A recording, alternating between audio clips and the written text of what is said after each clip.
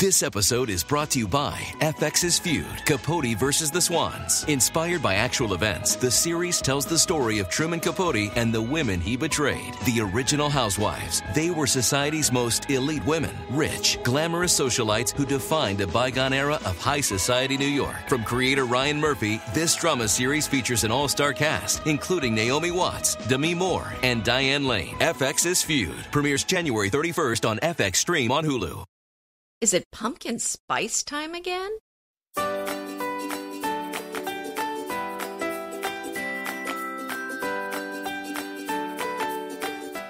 Hello, I'm Anita Joyce here with Kelly Wilkness, and this is Decorating Tips and Tricks Fall Tips and Tricks. We thought today we just give you some inspiration and some ideas. Fall is my favorite season. I think it's Anita's as well. Oh, yes, I love it. and I it. did a little research online, and I believe that fall is predominantly the favorite season uh, for any, at least the people that took various polls and things that I was seeing online. Uh, But why is that? Because the spring we have all the beautiful flowers, but I do love fall. I just love it. Yeah, it's interesting. Uh, they didn't really say why, but like I was talking to my daughters about it, and both of them really love fall too, which is interesting because as a kid, you know, you think summer or Christmas Mm-hmm, time, but they both love fall too. So I don't know. It's just that feeling. Must be all the pumpkin spice. the pumpkin spice. But I think also, if you've been a kid or you have kids, fall seems kind of like the time of new beginnings. The idea of going back to school and there's something new, like that feels like such uh, an opportunity to start again, which may be part of the whole fall appeal. Yeah, well, here it gets so hot. I mean, just the first cool morning, I just am just ecstatic. It feels like Christmas to me. Yeah, yeah, yeah. so exciting. So, okay, well, let's get to it. Yeah, well, I pulled out my bins and I Uh-huh. had greatly reduced my fall decor last year. You know what? I didn't find myself thinking, gee, where's that? Blah, blah, blah. I just knew there was less and I was happy with what I kept. So I have one bin and then one small, uh, sort of small container, like almost like a file size container with stuff that is a little bit more breakable. But I, d- I do have some faux pumpkins because I bought those about a year or two ago when uh, one of the magazines was coming and I couldn't get any pumpkins because it Is was that when you early. bought out some store and your trunk Yeah, they were full of them? I remember you talking about them. And yeah. then I had to decided they all had to be white, so then I chalk Yep. painted them all. It was quite a production. So that really is the only item that's in this big bin. So I've got these pumpkins. I've got a couple of stacks of books that are sort of seasonally appropriate too. They talk oh. they, like maybe they're talking about leaves in the title or there's one about witches of salem and things like that. And definitely in the browns and um, blacks and uh, golden tones so i have that. And then i have some amber bottles and um, some acorns and a few other things tucked in there.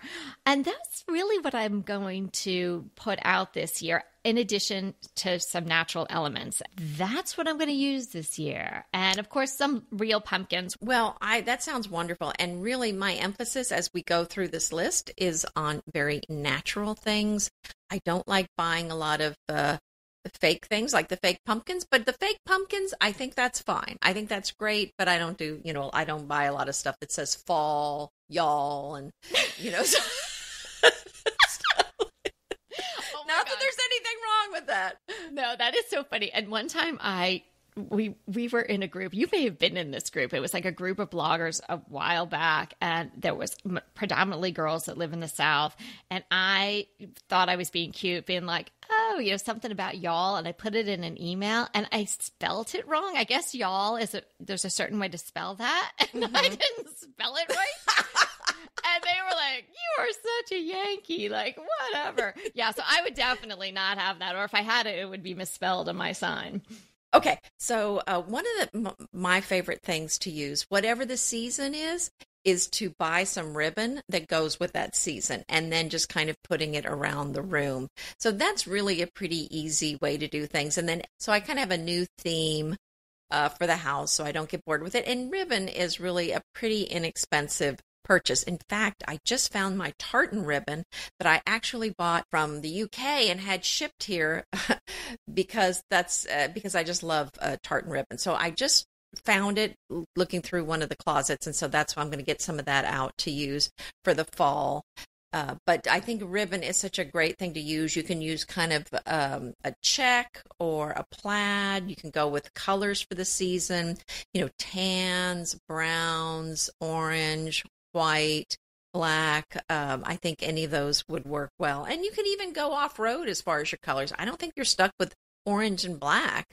I love tartans. We have one for our family, uh, but those are so beautiful to have. And this, if you have them, this is the time to bring them out. And you don't even, you know, the, with the tartans, you don't, they don't have to necessarily be fall colors, but it just kind of says fall, doesn't it? Oh yeah, I think of um, those stadium blankets exactly. and things like that, and the the tartan and the wool, and just yeah, it's just really a lovely way to nod to the season without banging yourself on the head with a fall y'all sign. So I think it's a good way to go. Now, I I love the idea of the ribbon. It could be a very inexpensive way to go. So give us some ideas of what what would you do with the ribbon? Would you in, entwine it in a wreath or would you just tie it onto something what would you do with it yeah you could put it on a wreath well really anything you put it on a wreath uh, if you've got i've got a lot of antiques that have those uh, keys in them the antique keys mm-hmm. so i mm-hmm. think it's great to put a bow on those keys. I put it on um, my lantern in my breakfast room. Uh, I put it on the newel post on my uh, stairwell, or you can kind of wrap it around your stairs all the way going down the, the handrail. There's some wonderful videos to learn how to make the multi loop bows, and those are mm. what I prefer. Those are the ones that I use around the house. And then if you get make those and you use some wire for those, then you can uh, you know set them aside maybe don't use them next year unless you want to but you could kind of do those like oh i used those three years ago now i'm ready to see them again mm-hmm.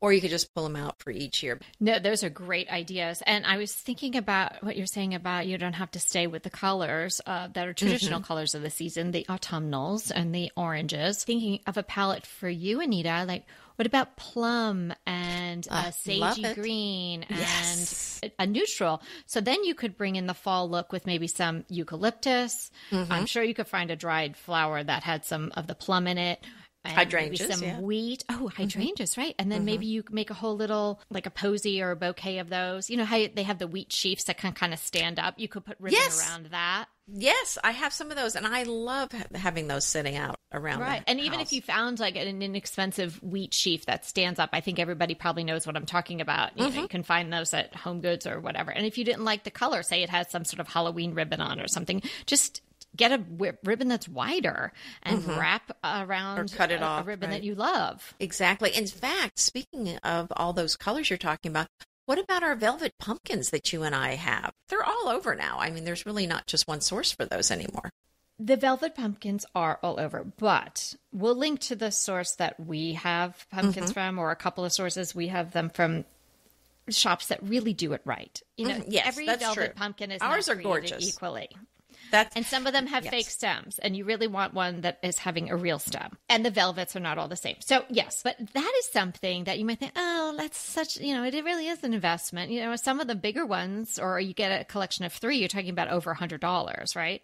Right. Uh, but I've had my velvet pumpkins for several years, and they look fantastic, and that's one of the few things I get out every year and it just makes me smile. I am so happy. They're so beautiful.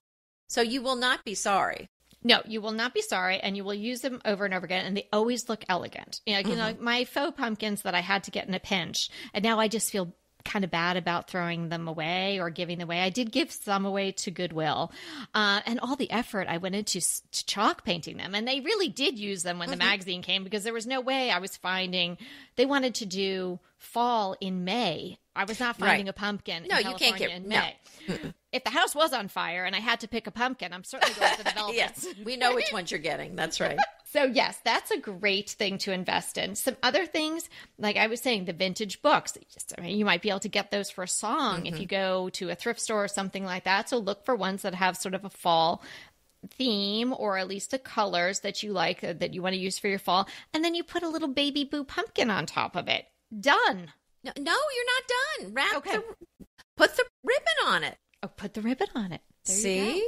And then you can put the baby boo next to it. And we did mention cute. baby boos, I hope, because go get the real little white pumpkins or the little orange ones. They last forever too. They do. It seems to be the smaller the pumpkin, Mm-hmm. the longer it lasts. Maybe it, because there there's more flesh rather than just you know the empty inside. It's going to last longer than your interest. You're going to be into Christmas and still going to. I know. I always feel Yeah. bad about my pumpkins that. I, are still around. Well, I guess you can make a pumpkin soup if you want to. Well, uh, well, what I'll do is I'll I bury them you know, or put them in the compost pile. Mm-hmm. And if you bury them, then you're going to get a little volunteer pumpkin uh, vine coming up.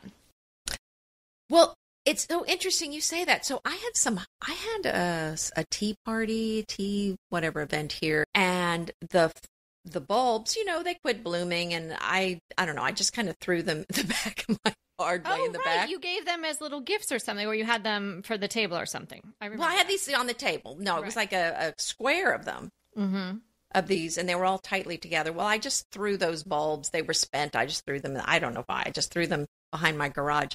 Do you know? I went out and looked, and they're all coming up green shoots. Oh, So I put them back in the container and I'm watering them now. Brilliant. See, you are a gardener. You did it. Well, if neglect is gardening, then I'm Well, sometimes it is. Sometimes things just are better left alone. Another thing that I love to use are feathers. I think feathers are such a great addition to a fall display. Uh, you know, it kind of has the sense of the feeling Like go- pheasant. Yeah. Exactly, pheasant feathers. And you can find feathers that have just fallen off. You're not inhumanely harvested feathers or anything like that. So you can purchase feathers. So maybe you get like 10 or 12 feathers, and then you could add them to floral displays. You could just put one on top of this stack of books that we're talking about with a ribbon wrapped around it with the baby boo and put a feather right next to it. Um, remember when we were in Round Top and I bought that um, whole The black feathers. black feathers? Yes, yes. I love those. Ah. And they make such a statement in a vignette, even if it's just one on its own. It really does make a difference. Amber bottles. I have a little collection of amber bottles that um, when I used to be autumnal, I had them displayed on a shelf somewhere in my prior house. But that's a great thing to bring out for the fall. And maybe you just have it with mm-hmm. a little sprig of something in it or nothing at all. But when there's a little collection, you have three of them or more in different heights, it's just really, really pretty. Well, it's interesting you say that because I think bottles in general will kind of have a fall look. Now, I have a few that kind of have a summer kind of sea glass look. Now, those don't feel fallish, but if you get the regular kind of uh, just clear glass, it tends toward the blue, I guess, or some that are kind of greenish. Uh, I think those look great for fall. I don't even think you have to go with amber. You can put things in them or not. And interestingly, some of these rustic things, some of the vintage things really have that fall feel. So I so agree with you with the vintage books, the vintage bottles. And you know what else I think looks fantastic for fall? And that is to use a wooden dough bowl or a wooden, just a wooden bowl. Um, and then you can fill it full of pumpkins. You can fill it full of uh, acorns, the baby boos, perhaps. One of my favorite things, I actually have the wooden bowl that a great grandmother used for dough. Uh, I not like nothing better than to put apples in there or pears. And the apples actually last longer, but I love sitting those out, and they're just so fresh and beautiful, and Oh, they just yeah. feel so seasonal. Yes, I love that too, whether it be green or red or even some yellow ones. And if you have a long dough bowl or a big bowl or something like that, and mm-hmm. you're like, oh wow, how many baby boos would I have to get to fill it? You know, you can crinkle up some paper, you can put some even dish towels sort of balled up underneath it, and then, you know, start then layering on your decorative items that you're going to have in there so you don't have to fill the entire bowl with something. If you're doing a display in something flatter, like or like a long dough bowl or on a tray or something like that, you can also tuck leaves underneath. You mm-hmm. could tuck seeded eucalyptus in between the baby boos. And I love what you're saying, and I don't think people realize this. If you have a massive dough bowl or some massive container that you're putting stuff in, just put some paper in the bottom, like you just said, or something just as filler. Like, what about those olive buckets? I mean, you could just Yeah. put something in the bottom of those too, and then fill them with the, with your pumpkins or Well, or what gourds. I did, I think I did it last year, is I put some of the these fakies that we're talking about that I had to purchase Mm-hmm. on the bottom, and then I put some white pumpkins on the top. So I wasn't buying more and more pumpkins because, particularly if you were buying the Cinderellas or something like that, they're usually not that cheap. I mean, Trader Right, Joe's true. always seems to have the best deal on the pumpkins, but you know, if you have to buy that many pumpkins, then you're just lugging all those pumpkins everywhere. Mm-hmm. So I made use of the faux ones that way by filling up the bottom of galvanized containers with them. Galvanized metal is also a, a thing that I think also evokes the fall. It just feels sort of like you drag your bucket out to apple pick or something like that. So that's Mm-hmm. a really pretty way to decorate. Even if you had a galvanized bucket that sort of had a nice age to it, and say you found a mid to large sized pumpkin, you could just plop that right on top of it. Done. Oh, yeah. And another thing that you can mix in with pumpkins uh, in a dough bowl or some other display are deer shed. I think people have a misconception that deer are harmed uh, when you have deer sheds, but that's why I call them sheds instead of antlers. They shed them. They they come off, of break off, and then there you go. And then you can just pick them up, and or you can even buy the faux ones. Both of them look great. If you are struggling to find pumpkins or you just want to off road it a little bit, how about pomegranates? How about some Oh, yeah. gourds? There's so many different kinds of gourds that you can pretty much find, at least here in California. We are kind of spoiled with the amount of produce that we can get our hands on throughout the entire year. But there are a lot of different gourds available. And so if you want to just start your fall decor even earlier than pumpkin season, start with that. Use some pomegranates. That's a beautiful, and that would bring in that a lovely sort of purpley maroonish color. If you wanted to do the palette we were talking about earlier. Yes, and you know, in walking in my neighborhood, you know, I'm always looking to see how buddy how everyone's done their front porch, uh, and if I can see inside the house, even better. All the better. All the better. That's right. So that's why you want to go around dusk when you can see in. It's so funny. For I those do that are too. interested, Hey, dogs, having a walk.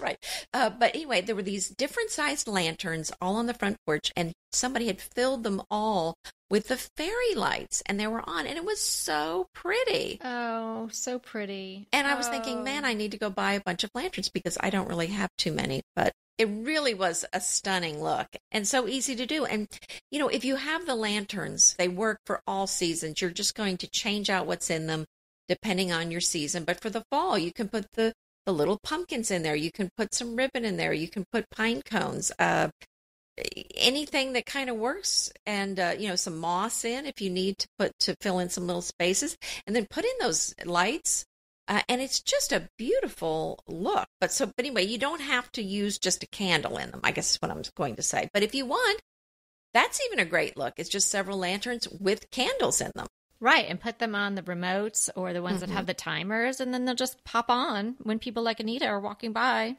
and they'll uh, really appreciate it. Don't you just love a great recommendation from a friend? Well, we're delighted to be recommending these companies and their wonderful products to you today. And let them know your friends at DTT sent you. Inevitably, with the new year come wellness goals. One very effective and easy to reach goal is to add dose to your wellness regime. Dose is expertly formulated organic wellness shots that support your liver in one delicious drink. Formulated with ingredients clinically shown to support liver health potent turmeric, milk thistle, and ginger. There's zero sugar and zero calories. Did you know that your liver performs over 500 special functions? Since I learned all that my liver is doing, I started with Dose to support all those vital functions. I take a shot of refreshing dose two times per week to combat everyday toxins from food, meds, alcohol, and unhealthy air. Since starting with Dose about a month ago, I am definitely feeling an overall improvement in my health. So if you want to give Dose a shot and invest in your health like I have, Dose is offering DTT listeners 15% off your first order, plus an additional 15% off if you subscribe for a monthly delivery. That's 30% off your first order. So go to dosedaily.co slash DTT and use the code DTT. That's dosedaily.co.co slash DTT and use the code DTT. Go ahead, clean out your closet. Then head straight to Quince. I love every item Quince offers from wardrobe to decor, and I can really recommend their ultra stretch super wide leg pant at $49.90. The price is unbeatable and the look is so flattering. It keeps you in on top and flares out of the bottom. Everything feels right with Quince. The price, the quality, and the sustainability. Quince offers a range of luxury wardrobe and home goods at prices within reach. And like Quince's clothing, their home goods are priced 50 to 80% less than similar brands. Quince only works with factories that use safe, ethical, and responsible manufacturing practices, along with premium fabrics and finishes. Once you've cleaned out your closet and refreshed with Quince, you can also add something to your home decor. So give your wardrobe and your home the refresh it needs with Quince. Go to quince.com slash DTT to get free shipping and 365-day returns on your next order. That's quince, Q-U-I-N-C-E dot com slash DTT for free shipping and 365-day returns. quince.com slash DTT. And let me know how you love those pants. Another thing that you can uh, add to your front door or maybe even an interior door is a wreath. Now, I have told you I am still on the fence about how I feel about wreaths. I was really into them for a while and I was always making a different wreath for a, different seasons and then kind of stopped doing all of that. Uh, but I took a look to see what was out there for all of you, and I found a really beautiful one at a site called Food 52. It's more of a culinary site. It's a really, really pretty. Uh, they're calling it a half branch, so half of it is covered, and the other half is uh, just left the grapevine, the you know the the empty grapevine. Oh, right, I've seen those. Right, which is really pretty, but it's really full on the other side mm-hmm. and sort of wild looking, and it's in this really beautiful tones like sage green, and I was almost like a blue. But you mm. guys should take a look at it. We'll put the link in the show notes to that particular one. And I have to give a shout out to my mom because she just made the absolutely most beautiful fall wreath for her door. It is a showstopper. So good job, mom. Really. Oh. Oh. Well, and this is also a time to set your candles out. Like you said, I prefer the ones on timers unless I'm they're close by so I can make sure nothing's going to catch on fire. But uh, you know, it's just a time for kind of coziness, and I think that's what we all like about it. And I think just the change of season, uh, it's exciting every year. I have a couple of tips that don't really involve decor. Can I share them right now? Mm-hmm. They're garden tips. I want you all to resist the urge to clean up all your leaves. This may really run against the grain of a lot of people because we want nice and tidy, and all those things should be blown away and put in plastic bags and hauled off to some landfill somewhere. Maybe this year you could leave your leaves, or you could leave some of your leaves, or you could gather all your leaves and then you can put them under your shrubs and around your perennials and sort of tuck them in for the winter, particularly if you're a person who lives in a cold place. This is going to do an amazing job of adding nutrients to your soil. And also, it's going to give all the little creatures, like all the little insects and a lot of our bees that live in the ground, an opportunity to nest in there over the winter. So think about doing that. There's a lot of good reasons to do it. I could keep going on, but enough said. Well, great idea. Mm-hmm. So I'm going to go back inside. Okay. Now that you've helped us with our extra leaves. And you know what I saw on uh, Pinterest? I thought was a really cool idea. Was these were real acorns, and someone had painted the bottom part different colors, and it looked like it was nail polish. I don't know if it was that or just some glossy paint, mm-hmm. but they were kind of glossy paint, and they, some were blue, some were green, and different colors. They looked so pretty. Wouldn't that be beautiful in a, a glass bowl or mm-hmm. just something where you could see through and see them? I think that would be so pretty. I'm just thinking somebody had a lot of COVID time on their hands. Well, even in my height of craftiness, when I was running two Girl Scout troops, I never t- paused in the action long enough to paint the bottom of an acorn. But now I kind of wish I had. You know, it sounds goofy, but they no, it sounds nice. lovely. I saw something on Instagram not too long ago, and I was like, "Oh wow!" And then I thought, "No, no, no." They paint it's a mother and daughter team they painted like like beautifully painted not just like one color painted little scenes inside oyster shells. Wow. Wow. Yes. Okay, that Wow. takes some commitment. Yes, a lot of commitment. And uh, my my first thought was like, oh wow, all those oysters. uh, my husband loves oysters. All those oysters Peter's eaten all over the years. I could have been just saving those from the restaurants, and then having these wonderful craft projects. But no, Wow, that sounds kind of involved. it does, it does. But yeah, mm-hmm. the acorn's pretty easy. Maybe you can even dip them, speed it up a little. Oh, maybe they did that. Speed There you go. There you go. I don't know. Well- you have to be really careful, and you maybe have to put painter's tape on the other part. Okay. too complicated. All right. Well, this one's a little easier. How about just having a basket of mums or There you go. with some mums in it? And then I'm thinking about how we love in the fall, cooler months to have some birch logs in a basket or just sitting by the fireplace. Yeah. Looks like they're ready to go in, whether you have Show a wood logs. fireplace or not. Right. Show, yeah, show logs. Don't But let anybody put them on fire. thinking about, I have a few more things here. Are some copper accents. This is the time to have like a copper tray or maybe a copper pot that you've put some mums in or something. I think this would be a beautiful time to set those out. Uh, I also saw on Pinterest some buffalo plaid painted pumpkins, which I never would have thought of doing, but they were really pretty. Yeah, I'm going to put that on the list with the painted acorn bottoms. Well, uh, you know how well a few years ago everyone was doing the decoupaging of the pumpkins. Remember? Yeah, yeah, I do. I do. I I might have dipped my toe into that too. I've just Yeah. become less crafty, although I do appreciate a good craft. Yeah, I yeah, yeah. appreciate everything you're saying.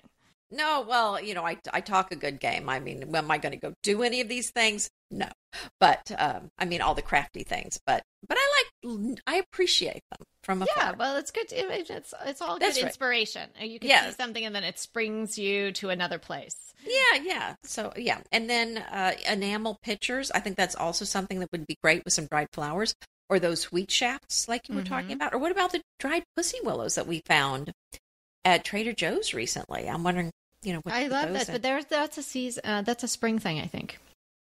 Well, they just did they? Was that in the spring? Well, it seems kind of fall. think it was. that?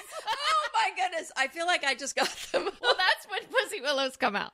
I have no idea what month it is. Oh, I that's don't right. either. It's fall. It's fall. It's Okay, fall, it's y'all. Stop it. Okay. All right. And then and then how about some little hay bales to put on your porch to put you know your mums or whatever your uh, plants on top of that. I think that would be nice. Now at our farm, our hay bales are these round hay bales that are about six feet tall. So I'm not talking about those. I'm talking about the little squares. Oh wow! So they look like the ones in like a Dutch painting, the rolled up hay. Oh yeah, they're massive. Yeah. Mhm. Whoa, that's very cool. Okay, so Anita, what is our hot topic today? Well, it's a Wall Street Journal article, and it's Should You Feel Guilty for Buying Furniture Knockoffs? It's kind of an interesting topic. I guess the real point of it is that you should either be buying the real thing, or if you're going to buy something that's not the real thing, go to a different design altogether so you can buy just another real thing that's cheaper. Uh, so it was kind of interesting. They were talking about that and saying, is that wrong to buy something that's a knockoff. And so we're all about finding something great for a good price. So as long as it's not some illegal knockoff, you know, like something, a fake Rolex, you know, that's not really legal. If it's not faking some brand that it's not, uh, but it's just kind of a, Tweaked a it, maybe. tweaked it, a nod to it. Mhm. I personally, I don't have a problem with it at all. So I didn't even know people felt bad about doing that. Yeah, I guess it really is very subjective. If you're getting something and you're going to go and pretend that it's a it's the real deal, or whoever you're purchasing it from is pretending it's the real deal, whether it you know be a personal piece of furniture or a watch or whatever, I think that that's not a great way to shop Right. or a great Sure. way to spend your money. You do want to support whoever is creating the actual item. But Right. yeah, there are so many ways that you can sort of, as we said, use the word tweak, or you can just change the design a little bit and it's different, but it's inspired by the more expensive item. Well, and what I'm thinking about is sometimes there's some furniture item maybe, and it's a five thousand, ten thousand dollar item, and then there's a knockoff that's you know less than five hundred dollars. Well, someone who's buying that was never going to buy the five thousand dollar item, and it you know obviously that's a completely different uh, price bracket.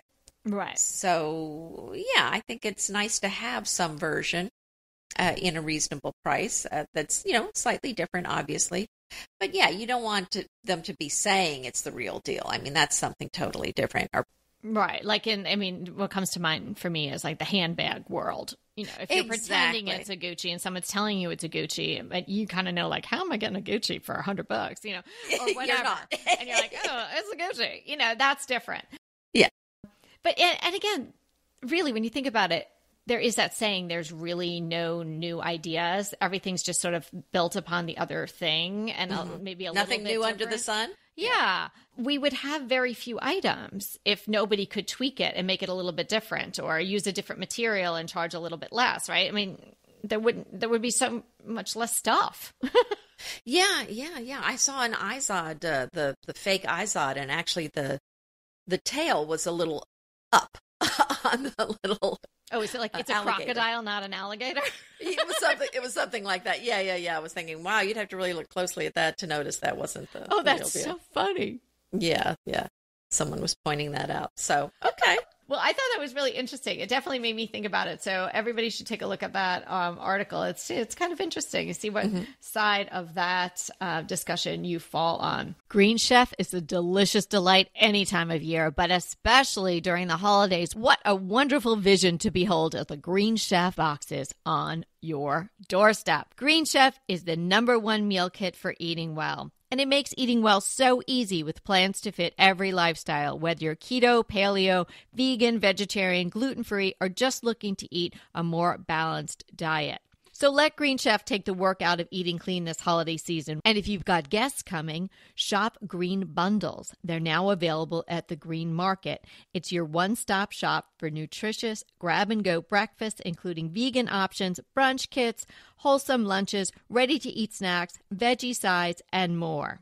You can feel your best this December and do your best with Green Chef because they offset 100% of the delivery emissions as well as 100% of the plastic in every box. Go to greenchef.com slash 60DTT and use the code 60DTT and get 60% off plus 20% off your next two months. greenchef.com slash 60DTT and use the code 6060DTT to get 60% off plus 20% off your next two months.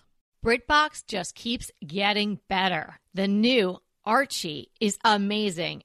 And it's not the comics. It's about Cary Grant. Archie is the brand new limited series starring Jason Isaacs as Archie Leach, the man who became Cary Grant. From the award winning screenwriter of Philomena, Archie tells Grant's born in Britain, made in Hollywood story, the dramatic grit to glamour transformation that led him to become one of the most famous people in the world. You are going to absolutely love the acting, but also the styling, the outfits, the scenery. It's the first time his story has been told in collaboration with his daughter Jennifer Grant and ex wife Dyan Cannon. The performances from Jason Isaacs and the rest of the cast are amazing, and it's only available on BritBox. So sign up for BritBox today to stream Archie and other fan favorites from any device.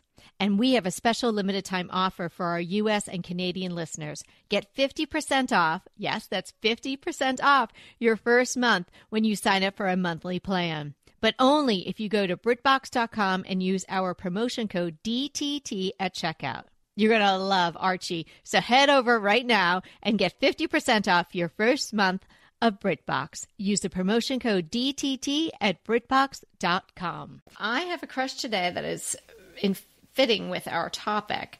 Has oh. anybody seen those raffia pumpkins that Target is selling? Oh, I haven't been out there. Okay, they're so cute. Well, I saw it online and I had put a couple in my shopping cart and then I took them out because I said I do not need another pumpkin with fake pumpkins and velvet pumpkins and real pumpkins coming down the road. But if you are in the market and you really want to have a new little pumpkin in your life, then this is something you might want to check out. They're a lot less expensive than the velvet pumpkins that we're talking about. They're different price points, but somewhere like all under 20 bucks. I think the 5 by 7 was like $12 or something like that. Super cute. They look pretty well made as well. Oh, nice. Well, I love it when we can find something new and fresh. Yeah. So that's cool. Well, mine is a very practical thing that I just got. You know, I've been making that homemade bread. I'm still making my bread. Oh my goodness. It's Can you become a believe it? lifestyle for you. It, it has, it has. So, but you know, when you have uh, gluten free bread or if you make your own bread, it's not a full size slice usually. You know, like Wonder Bread, you know, it's whatever, it's a certain size slice, and these are smaller. you mean so it doesn't get as tall? Well, loaf? no, because I only, mine doesn't get as tall because I only make enough for one day at a time. I only make a, a and so that's a pretty small loaf. Mhm. So it's not going to rise a lot. Okay. So it's it's just not going to be as tall. You know, it's going to be more, you know, and it's kind of more like a baguette, I guess, almost what I make. Okay. It was getting lost in the toaster, but you don't want to be sticking your fork in there, right? I'm cracking up because I did this this morning. Uh, Simple Mills has a mix for gluten free bread. Uh-huh. I failed at the sourdough. I'm a sourdough non starter. got- let's no, no, just this say. one I'm using one that has adds yeast. It's not really sourdough, but it tastes like it. I'm, I'll give you the recipe if you want. Well, maybe I could do that. But th- anyway, I made this one out of the box. And yes, it's a short sort of loaf. See?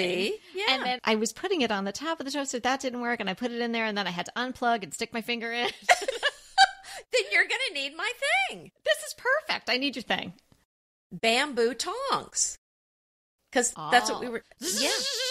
So That doesn't no, happen. No, they're bamboo, so you're not going to get electrocuted. So you can just stick those in and get your piece of toast out. So I'm that was like our big excitement. Those came yesterday, and we were like oohing and ahhing. Except we're on, except that we're on a detox this week, so we're not eating bread. So I just set them aside and say we'll be using you. Oh, You'll you you'll have come in handy excited about yeah. next week. We'll be using you. Get ready. Well, there you. Oh, wow! I didn't even know. I, I didn't know that existed, uh, nor would I have known that I needed it. But I do. Yeah, Okay. I'll include the link, and they're inexpensive. So as you might guess. Yeah, maybe you should get two just in case. Well, they come as a set of two, and I'll include the link. Oh, perfect! God, you're answering all my questions. I'm telling you, I'm. It, we'll, we'll be all I'm set. glad I listened to this podcast. Really Aren't you? Yeah. Now we're going to talk about one of your questions. Amy F has a question this week, Anita. It's about creating an area in her open concept first floor for entertaining. And Amy wants to talk about how she should set up her furniture to really enhance the entertaining experience in her mm-hmm. room. One thing we should note, and was very refreshing to see in the photos, there's not a TV in this room. I love that. Yes, that's uh, very rare these days, isn't it? Yes, because in fact, the the sofa, I it was looking at a wall, and I was like, "Oh, did the TV fall off?" No, there's no TV. Well, I'm sure the TV's in a different room. Well, probably, or using iPads, but it's a that's a wonderful space for entertaining, and you're not going to have the distraction of a TV. So, Amy sent us some photos, and it's complicated to talk about a room when everybody can't see it. So, we're going to answer her question generally, and so everybody can apply that to their own spaces. And then, of course, I will get back to Amy uh, via email. So, Amy, uh, if I'm setting up in general for entertaining, what I'm looking for is large paths. So, I don't want to see a lot of little furniture or things blocking major pathways so that you can get some flow. Uh, if you're having a party or entertaining, you want people to be able to walk freely throughout the areas that, that they're going to be walking through. So, kind of think about how you're going to be using the space, how people might be walking through. And then I like to think about, you know, when they're coming through, where can I set up for people to get some uh, something to drink? Where can I set up some some appetizers? Where are they going to eat their meal? Where would I set up a buffet? Uh, where would they sit? So I think these are the kind of the things to think through is flow and then where are going to be a lot of areas where you can set food out and drinks. And then for the seating area, I'm looking for some conversation areas. So I would say maybe a couple of places where there's two chairs together here, two chairs together there. So it, they don't have to all be one large conversation area. In fact, that often doesn't work if it's a big room. So I'm looking for kind of like a hotel would have like a you know two seats together here, two seats together there, and that makes for a nice uh, party uh, setup. And then you know obviously some comfortable chairs, and really don't even have to have seating at a table if you're having a party. That's nice if you do, but you know, a lot of times I just put the food on the dining room table at, and use it as a buffet and then have people sitting other places around the room. Anyway, those are my thoughts. So I hope that's helpful, Amy. And uh, what did you think, Kelly? Yeah, great, great idea, Anita. And Amy has it set up where her, it looks like her dining room table is on one side, and then there's a console table, and then her sofa, and then sort of the living area on the other side. I think that's a great delineation. And if as Anita said, if you've got nice pathways in between those two spaces, people can come back and forth, grab some food, come back over. I would suggest an added two or maybe even three other chairs to sit on or a poof or something like that.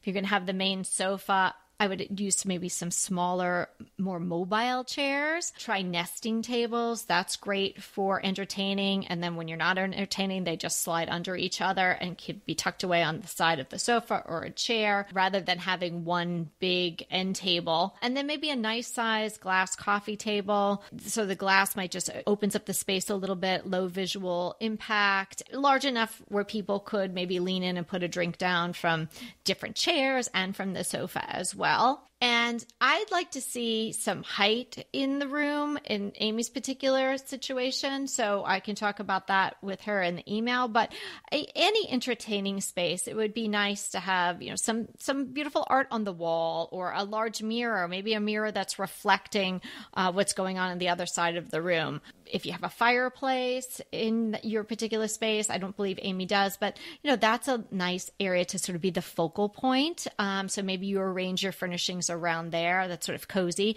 particularly if you're not having a television on. Oh, I think that's great. She should, Amy, you should have lots of ideas. hopefully they'll help. yeah, and hopefully a lot of people can, uh, you know, also parlay those thoughts into whatever space they have. Today was so much fun. It was great to talk about fall with everyone. And remember, we are here to inspire you to create a beautiful home. Until next time.